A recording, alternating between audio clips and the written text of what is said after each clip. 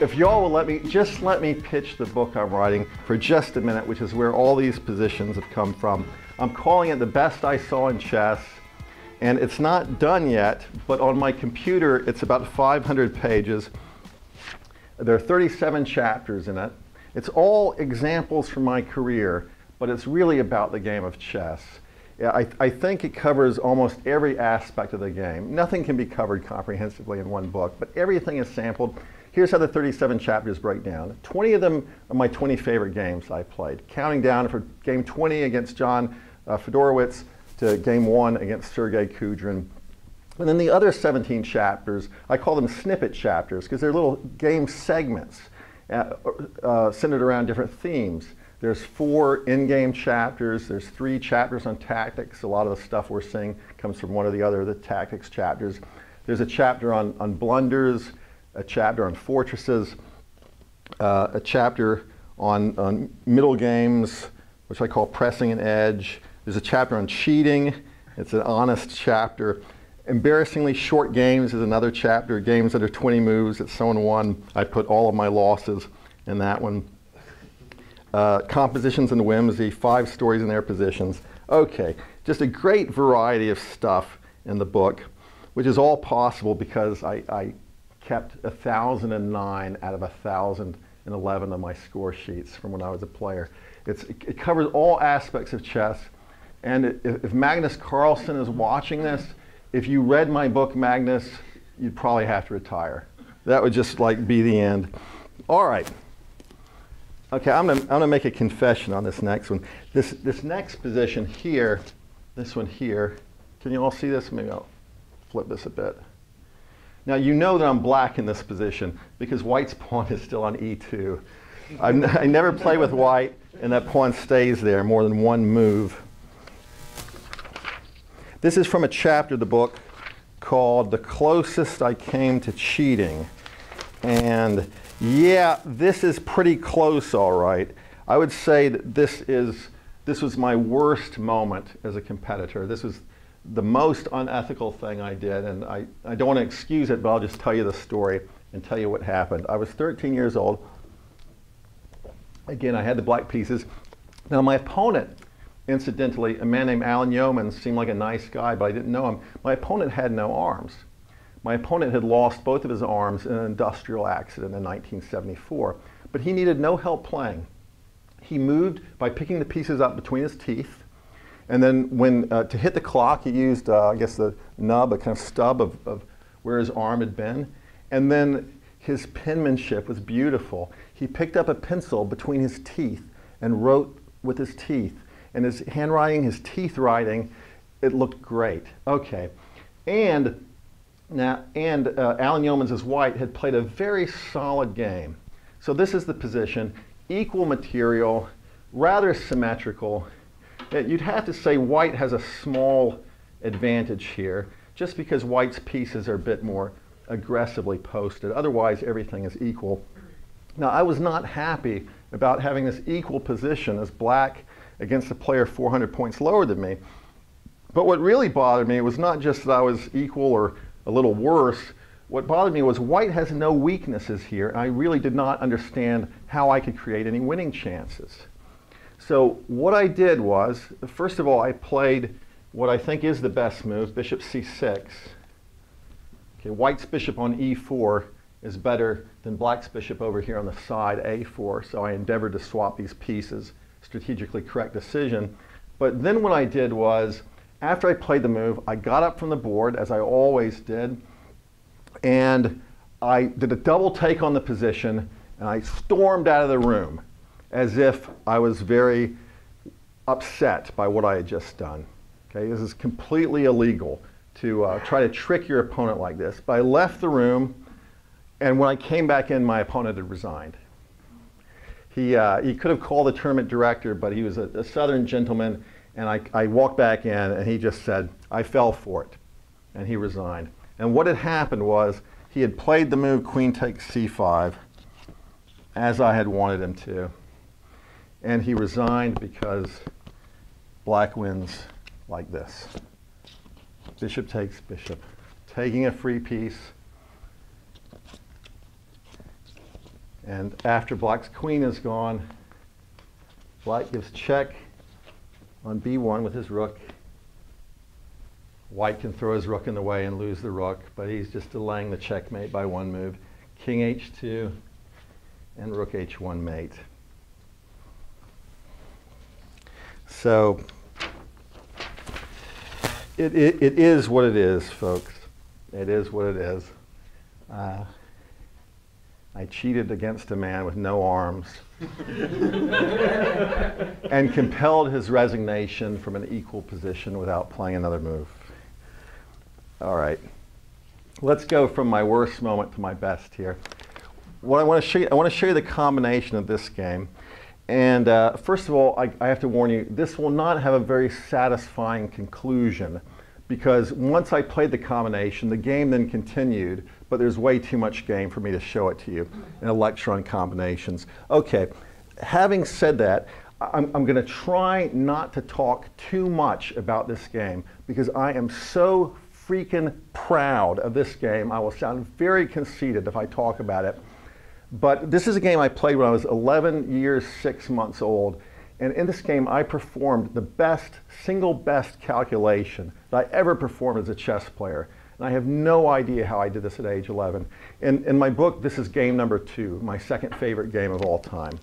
So I, I want to show you this calculation that I performed, and maybe you'll like the combination, even if, even if it doesn't end the game. So the player with white is my, my oldest friend in the world, my friend of 35 years, Kyle Farrell. I love this guy. We played lots of great games. Okay, let me go quickly through these moves. Again, I had the black pieces. We have a c3 Sicilian. And Kyle and I, we knew this line, and so we played a lot of moves pretty quickly. d4, pawn takes pawn. Queen takes pawn. It's probably a little inferior, but it's a normal book line, at least it was back in the Stone Ages. Knight c6, queen goes to e4, black plays d6. Knight bd2, I played pawn takes pawn, knight takes pawn. This is all theory, kind of boring theory. Knight scoots back to f6, attacking white's queen. White pins the black knight on e4 on c6. I played queen c7, uh, knight df3, defending the knight on e5. Let's develop a piece, why don't we? Bishop d6. Knight takes bishop. Uh, sorry, knight takes knight on c6. Now I love playing cute moves, so I just play bishop d7. I'll win the piece back this way. I think I didn't like having doubled pawns when I was 11. I play bishop takes knight. Uh, white develops, bishop b5. Okay, now I played knight d5. Now white plays knight d4. Okay. Uh, crisis has arisen early in this game. All right, we're at a book at this point. Okay, it's black's move. Now white has three pieces bearing down on the c6 square. Black has two defenders.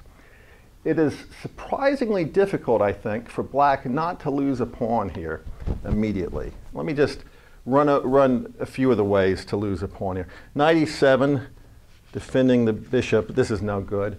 White's going to remove the defender. Bishop takes knight. Even Bobby Fischer would give up his bishop for a knight in this position. J'adoube, bishop takes knight. And when black recaptures, now white again has too many things on the black bishop.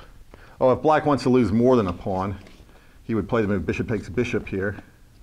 White plays knight takes bishop. This is an immediate win for white. Black's queen is attacked. And with this discovered check coming on black's king, knight takes bishop, double check. White's going to win a piece, something big right away here. Black can't do that.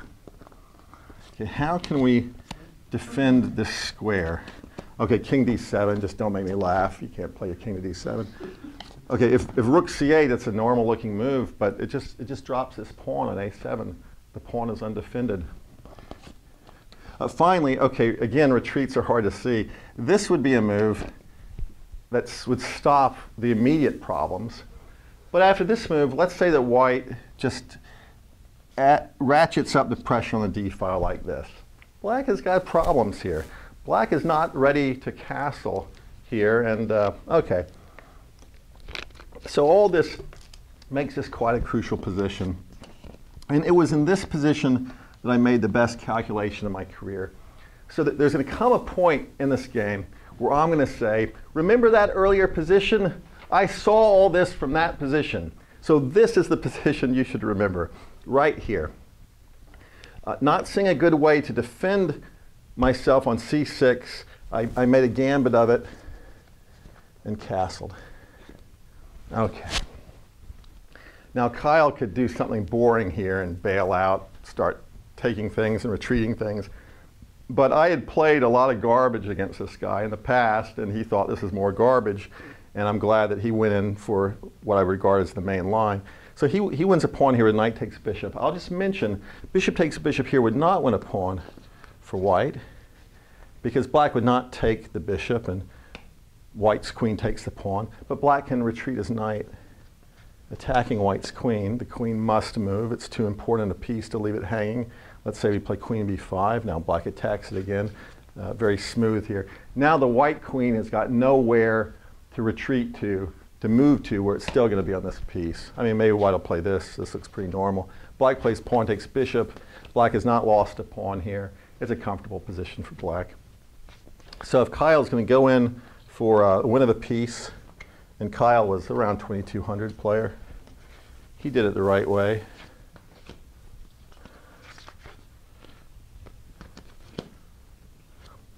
He plays knight takes bishop. All right, knight takes bishop. I played, hold on, yeah, pawn takes knight, and he goes bishop takes pawn. Now what am I doing here? What am I going to do having lost a pawn? It's not the same move as before. If knight b6 here, attacking the white queen, the white queen has got no problem maintaining the defense of the bishop with queen e4. Now f5 by black is not going to be any good because white's going to take this pawn with check. And you know, black could uh, try to do something here. Rook c8 maybe, attacking the piece. White retreats. Now black could play queen c5, attacking two pieces, two white bishops along the fifth rank. But the problem is White can save them both by first playing bishop d3. Checkmate in one is threatened on h7, and black has to defend himself against the checkmate. And then white can simply save this piece. White's a pawn up. White has the two bishops. White's going to win the game. That was not the idea.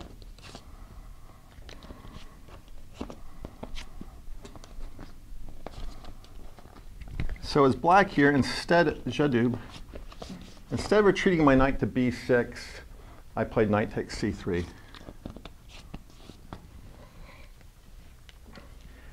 Now, usually I like to sacrifice my opponent's pieces. But here, the position demanded I sacrifice my own. So Kyle takes, pawn takes knight, and now I just calmly play rook a c8. All right. This is a good position, folks. Okay, black is a full piece down here, but white has a big tactical problem. White's bishop is now double attacked. If the bishop moves, then black's queen will be taking this pawn on c3 to check. Some kind of big attack is coming here. Um, I'm very glad, again, that Kyle played the gutsy move and he retreated his bishop. Okay, first, let me just look at a couple other things here, aside from retreating the bishop. One point here is that white cannot bail out by castling and then after queen takes bishop, uh, dining on this pawn on a7. Just the stars are aligning for black in this game because the white queen is trapped. Bishop c5 attacking the queen. The queen has one and only one safe square to go to. a5, rook a8. See you later, queen. White loses. So this was not feasible for the white player. Now, with the full benefit of computer-aided hindsight, White's best move here is the exceedingly wimpy but correct bishop d2, defending this pawn, forcing black J'adoube, queen on a4. Where are you, Doug?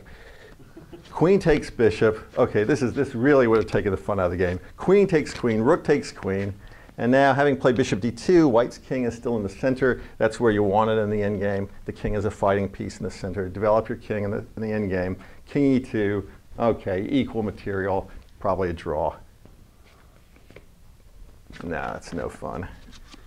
That's no fun. I, it's hard to criticize White for any of the moves he made in this game. And this is one thing. My, my, this is my second favorite game. To play a really good game of chess, your, your opponent has to play well too. Just crushing someone never makes for a great game. And it really has to be two good players playing two good games. Okay, so, so White wants to hold on to his extra piece. And he played to the best square if White's going to do that. Bishop f3. These are all specific tactics. Let me show you why bishop e4 would be a terrible move. It's because black would take check here with the queen. Now attacking the king and the rook both. So white must move his king forward to connect the two rooks for the defense. And black has this move. Damn Hashvili. Okay. Queen's attacked, bishop's attacked. White's, uh, white's going down the drain here.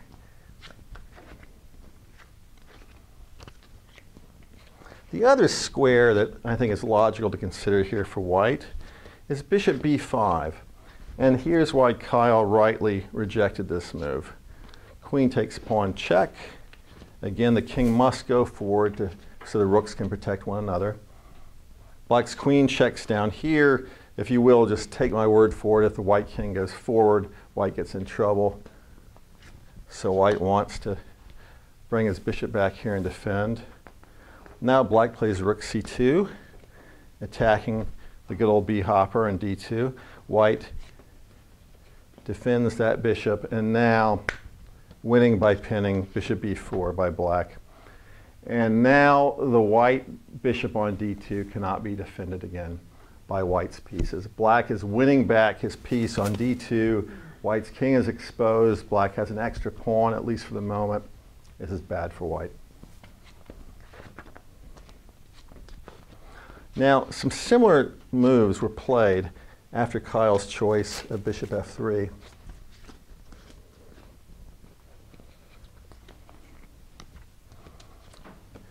He goes bishop f3. Okay, I, I checked, as we're familiar with. White goes king e2, as before. Check here, as before. And white plays bishop d2. Okay, I play my rook down to attack his bishop. He wants to defend his bishop and also kind of save this piece here. So he plays rook a1. And once again, I pin his bishop with my bishop, bishop b4. So this is the same position we just had with the difference that white's bishop, which was on b5, is now on f3. And with the bishop no longer on b5, white has this move, which he played, queen d7. Okay, Kyle thought Kyle saw this. He thought, this is what he wants to do. This is going to be good for white. Black is a full piece down here. A full piece down. And I'll, I'll just mention, if black plays this, it's you usually look at checks. Check, king goes back to f1. There's no follow-up here for black. There's no follow-up. With the first position that we looked at, that rook and minor piece in game, I said that if all your pieces are contributing to your attack, see if you can throw in a pawn. But there's a prior principle, which is you want all your pieces to be contributing to your attack. And here you see black has three very nice aggressive pieces down here and a rook that's not doing nothing.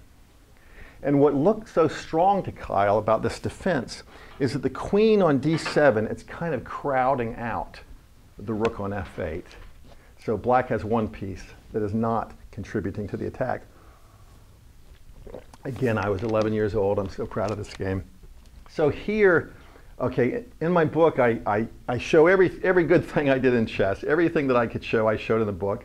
And in the whole 500-page book, I only have two moves that I made that I, that I think deserve a double exclamation mark. And this was one of the two moves. Okay, I just, I love this so much. I played this move. Bishop a5. Another retreat. A quiet move. Okay. The bishop moved to a5. It changes nothing in the position except it opens up the threat of rook d8 to bring black's last piece into the attack, to bear another piece down on the square of d2. And white has surprisingly few options here. So now what I want to do is show you two things from this position.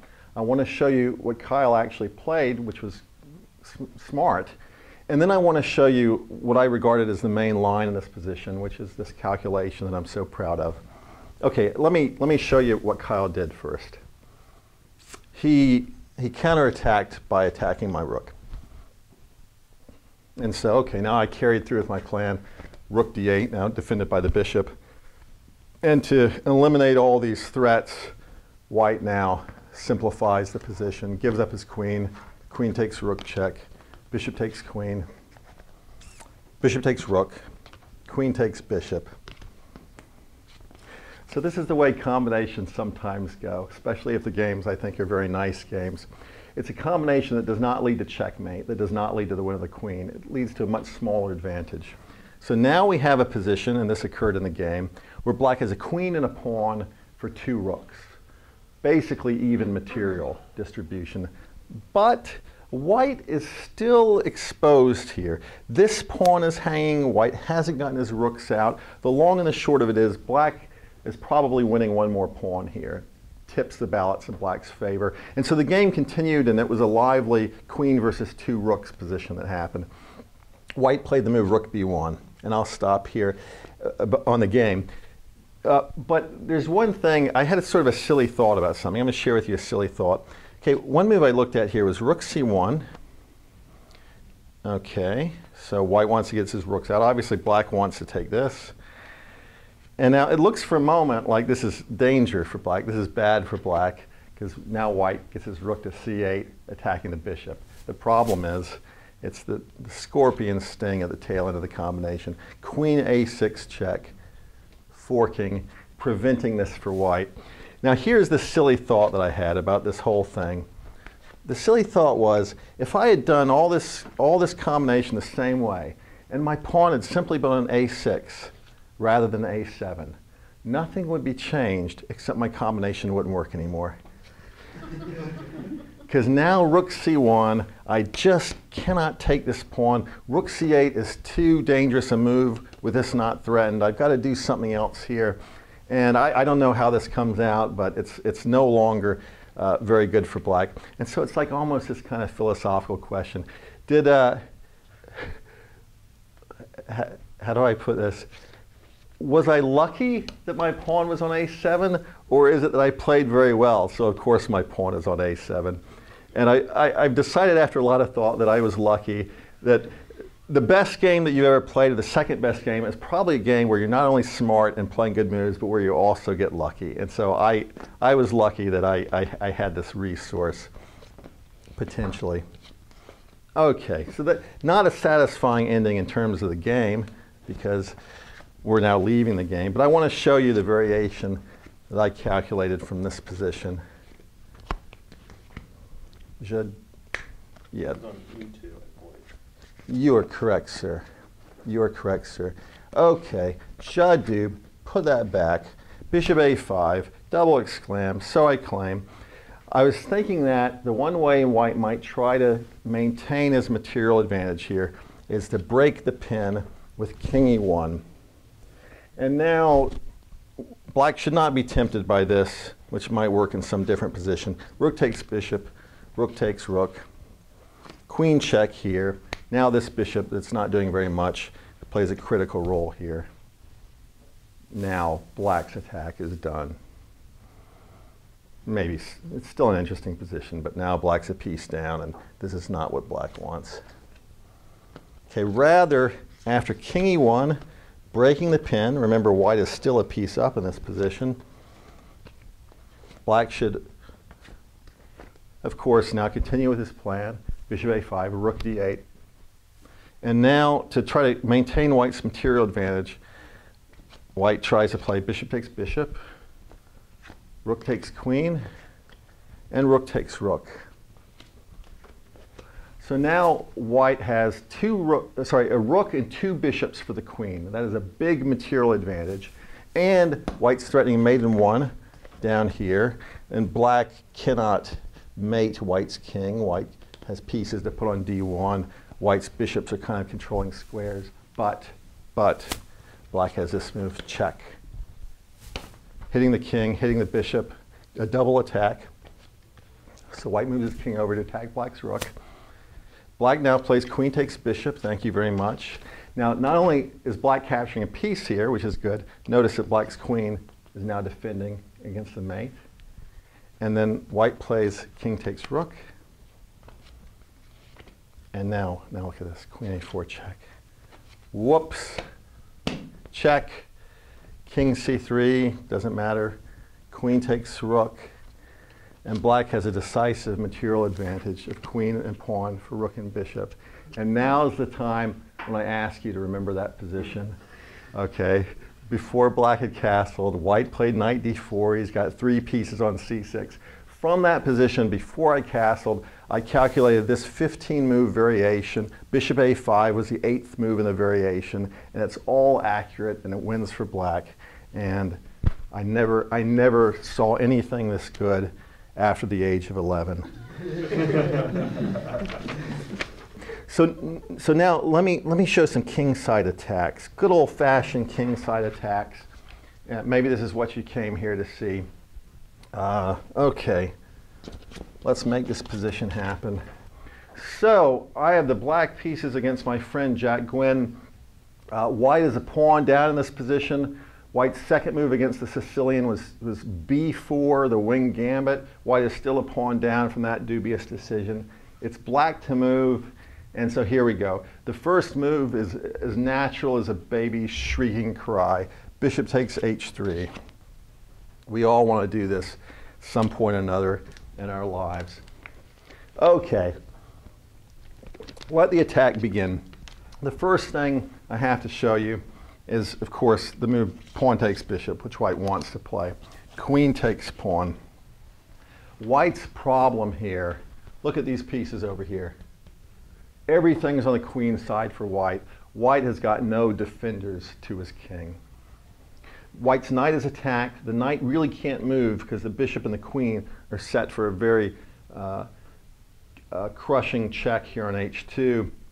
White can maybe protect his knight with his queen, queen d1. Now black plays knight g4, and white just cannot do anything here.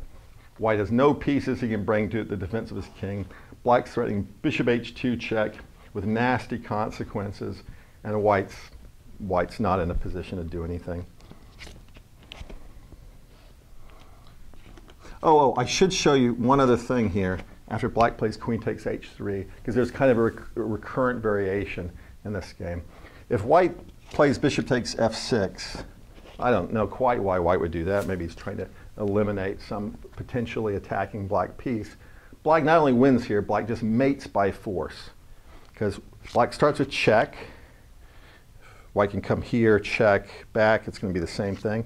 King f1. Now black plays queen takes f3 threatening checkmate in one move on h1. So white brings his king over to stop that. And now black checkmates white with nothing but checking moves. Just very forcing. Check, king f1. Check. These are only moves for white. King g1. Queen h2 check. King shuffles over to its demise. Queen h1 is mate now. Okay. So white can't do that. Got that, folks? Excellent.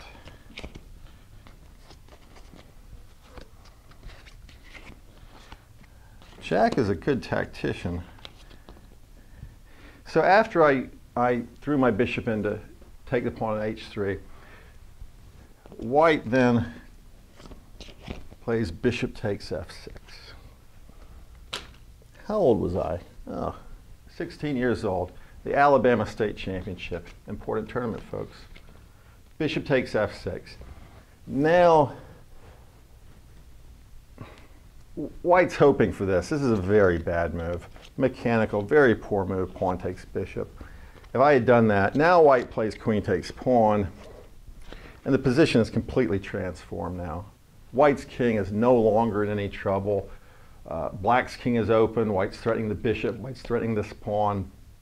I don't know what's happening here, but this is uh, really very bad for black to take such a strong attack and to mess it up by playing pawn takes bishop. Now, a move black might have played in this position, I did not play. A move black might have played, uh, a natural move, queen g4. Right, it's nice to threaten mate in one on g2. Uh, now uh, the game is not over. White can play knight h4, defend against the mate. It's funny how that bishop on f6, which is attacked, which is doomed, is nevertheless serving a function here. It's defending the knight. Okay, I'm going to stop this variation here. To tell you the truth, black wins in this variation. But I'll show you the one that actually happened. All right. So black's taken a pawn, white's taken a knight. And, but I wasn't through with my bishop over here. I played bishop takes pawn. Just more destruction of the white king position. Once again, this move, I'm angling for this, this recurrent variation I mentioned. If white plays king takes bishop, White's not just in trouble, white's mated. Queen check. King here, king here, it doesn't matter. Queen takes knight. Threatening mate on h1. Now white plays king g1. It's the same thing as before, exact same position. Check, check, check, checkmate. Okay. The king cannot take the bishop on g2 and live to, to talk about it. All right. So white has a knight attacked. Maybe black will take this bishop at some point. Black's really black's biggest threat here is just queen h3. Black is just threatening checkmate. Queen h3 threatening queen h1 mate. White has no defense. Knight h2. Queen takes knight is checkmate. The bishop covers the queen. The white king is surrounded and attacked. So white cannot play king takes bishop. White must stop, do something about this queen h3 threat. And so what Jack did was knight h2. Now white is threatening king takes bishop.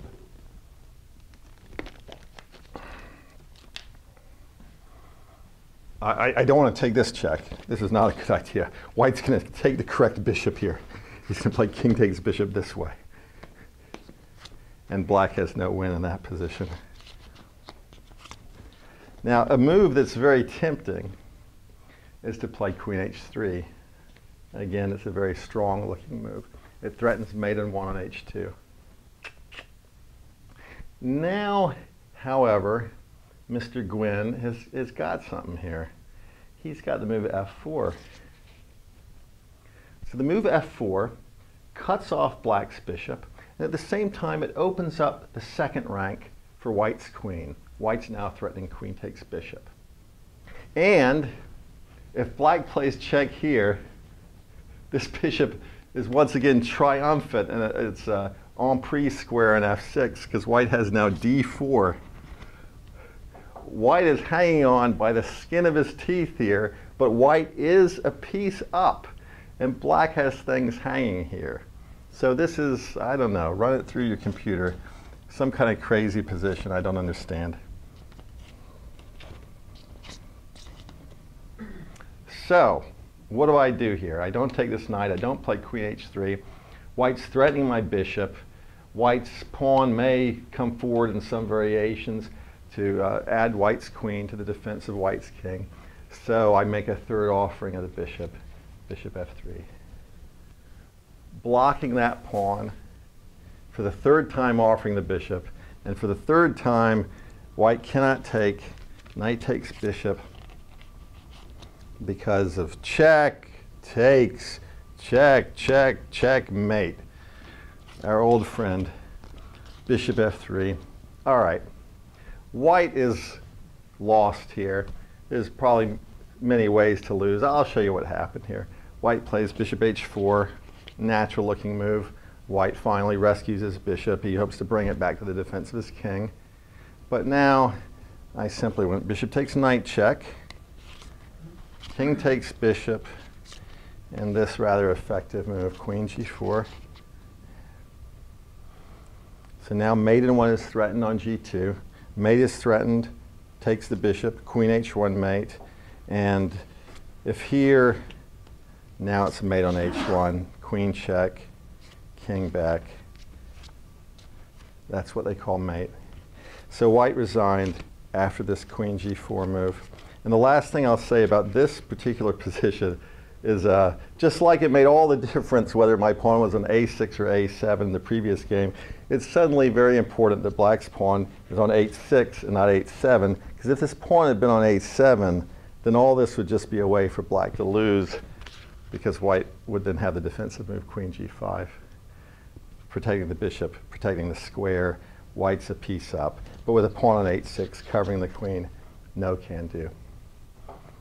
All right. Let's see another kingside attack. All right, I had the black pieces here against Miles Ardaman. All right.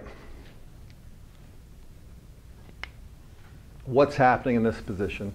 It is equal material. Now white has the two bishops here, but the two bishops are not important. Oh, Doug, where's my man? Where's my man? White is not a rook down, sir. Thank you. Equal material.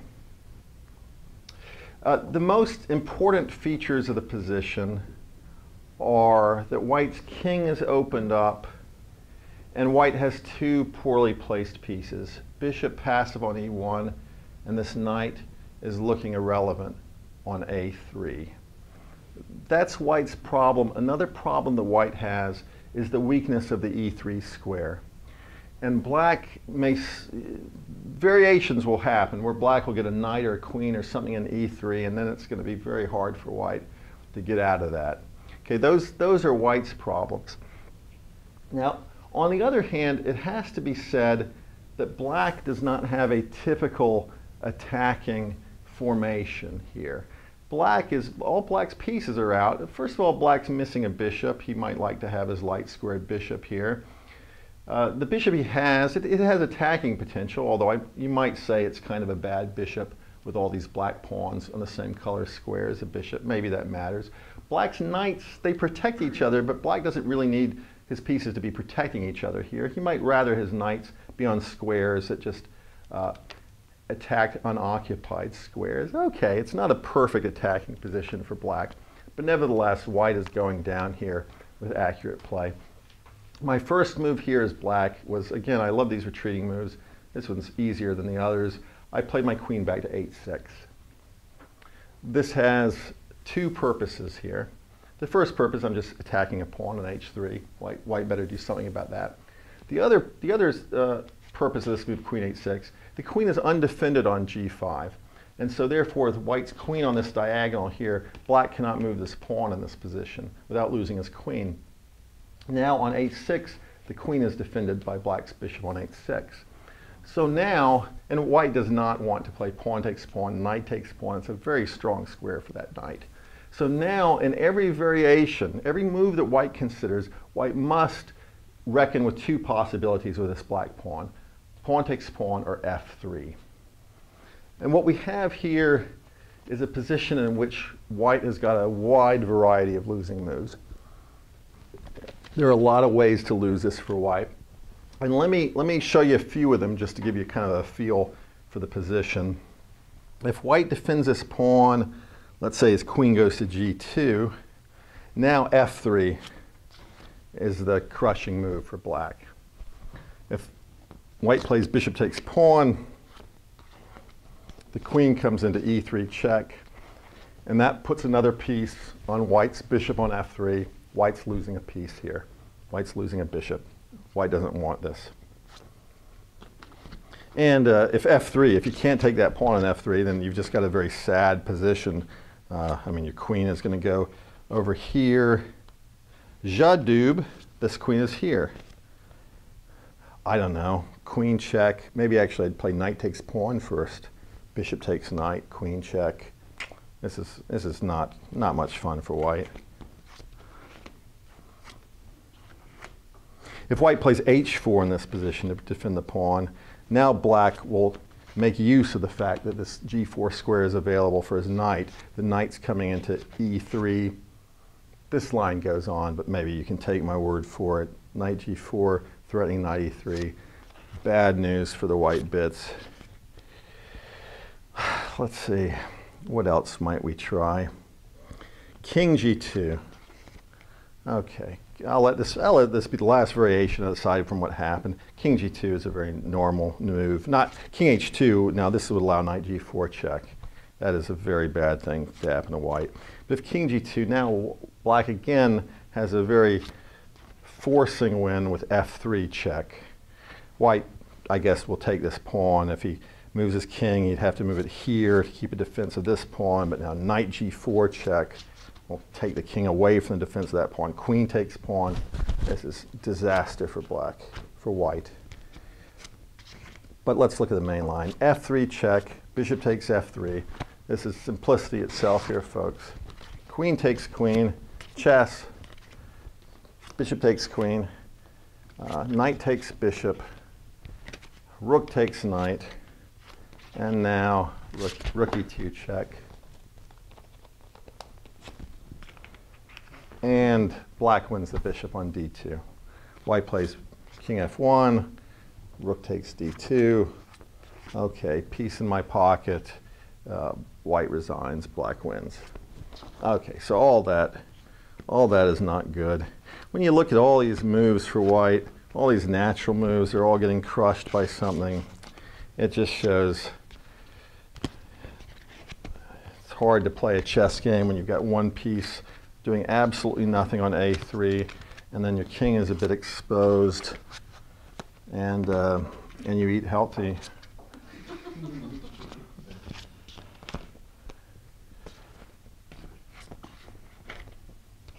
Okay, so what my friend from Florida did was to protect this pawn, he plays queen h2. All right. Now I play pawn takes pawn. Now I'm looking to get my queen into that e3 square. So Miles first stops this. Well, he first plays rook takes rook check. I play rook takes rook. And now he plays queen takes g3.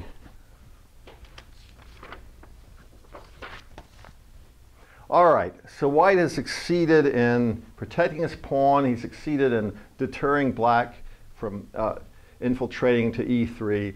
But now black's got knight f4. The quiet knight on g6 joins the attack, and it's, uh, it's raining down in white's position.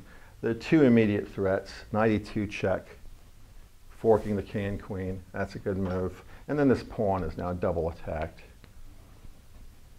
So Miles plays king h2, trying to meet both threats. And, and here's how he met his end. I took this pawn anyway. Knight takes h3. Uh, White's next move makes no difference to anything. White checks. Black puts his king in the corner. And now with this knight threatening to move and to attack white's king some more, white took this. And here's how the game ended. Knight g4 check by black. The king does not want to come up and expose itself to more dangers. So the king goes over to g2. Now this, the weakness of this e3 square comes into play. Black plays knight e3 check. Again, white doesn't want to move his king forward and have new problems. No, it's mate in one, actually. That's a problem. Okay, so king h2, st staying on the defense of the queen. Now the bishop, which hasn't been doing much, now it comes into its own. Bishop e5 check, attacking white's king. White is, again, white does not want to relinquish his queen. So white plays bishop g3, and I took it off. Bishop takes g3 check, and uh, this was the end here. Miles resigned because king takes g3, queen f4 is mate. One, of my favorite chess quotes at the end of this lecture about combinations. Here's the quote.